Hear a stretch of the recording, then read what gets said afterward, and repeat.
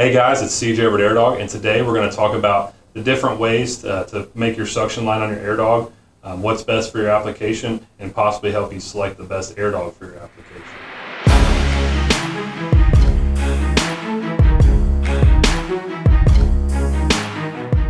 So first things first, we're going to talk about you know why you may need a different pickup for your application versus another application.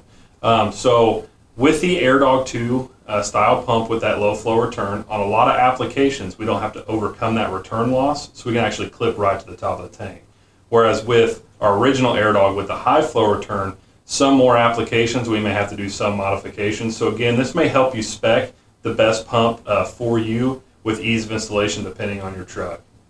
So if you were to go with our original AirDog, that FP model line, um, since again that does have that high flow return on some applications, um, is going to require this draw straw. So if you're to go with a 100 gallon per hour unit um, on some applications such as your uh, early second gens, um, all your Duramaxes and your Fords, you'll be able to clip right to the top of the tank. That is only with a 100 gallon per hour fuel system.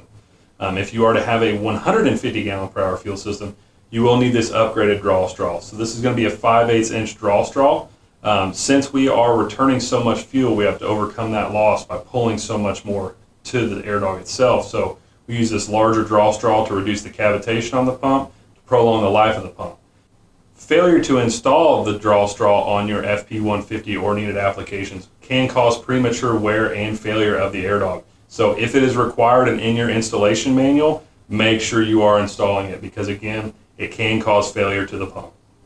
So again, where this is going to be applicable is going to be your FP150s on all applications, some FP100s depending on your application. Um, this also will come in all of your 220 kits, being that it is a high flow and can easily be adapted for that 5/8 suction line. So if you were to purchase an AirDog 2 kit, depending on the application, um, you may receive what's called a fuel module upgrade.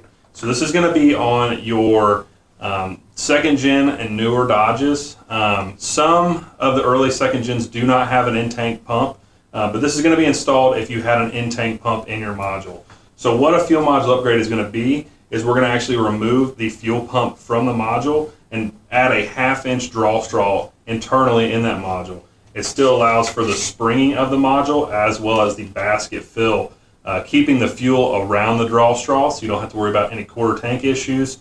Um, a little bit more seamless integration into your truck as you're not putting a hole directly in the tank. You're putting it in the fuel module. So always able to re be replaced if you decide you want to keep your AirDog for your next truck or something like that. You can go ahead and swap that module and it's all back to stock. So again, where you may be seeing this fuel module upgrade is going to be on your Dodges. Um, again, this is going to be on the AirDog 2 product line. Um, it depends if you have that in-tank pump or not. On some of the 100s, you will not need. Uh, but any of your 165s uh, are going to install this fuel module upgrade. So again, moving on with that AirDog 2 product line and how you may plumb your AirDog suction line. Um, this is going to be a Duramax fuel module. Um, so again, with that AirDog 2, being that it's a low flow return, we don't have to overcome that large uh, return loss by pulling more fuel. So on all your Duramaxes um, and majority of your Fords, excluding your 2017 and newer Fords, you're actually going to connect directly to the module with a 100 and 165. So since this doesn't have an in-tank pump, it already has a large enough internal suction hose in the module. We don't need to modify with that AirDog 2. You're clipping it right to the top of the tank, you're done. Again, this is going to be on a majority of your Fords, excluding the 2017 and newer, um, as well as all of your Duramax kits. You're clipping it right to the top of the tank. No need for any of that modification.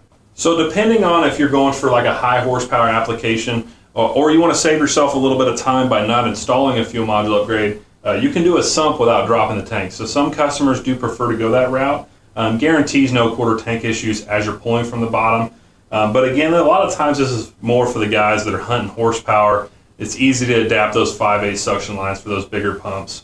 Uh, but this is going to mount directly on the bottom of your tank using a single bolt design. We have a dual O-ring seal in this with a sandwich plate design. Um, also, it has an integrated return. Um, so on a lot of your applications where you had to return to your filler neck or back to the module after the fuel module upgrade, um, it's going to make it nice and easy for you because you're already going to have your suction and your return right here, right on the bottom of the pump. Uh, so maybe make your installation a little easier depending on what truck you're working on. So again, whenever you're purchasing an AirDog unit, it's going to come with everything needed to install it on that truck. So you may be receiving a draw straw with your kit or fuel module upgrade.